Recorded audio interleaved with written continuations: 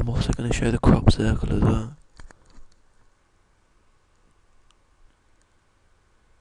I just found one a second ago.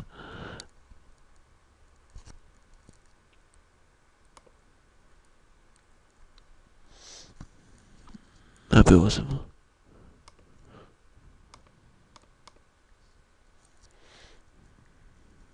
I'd love to do that.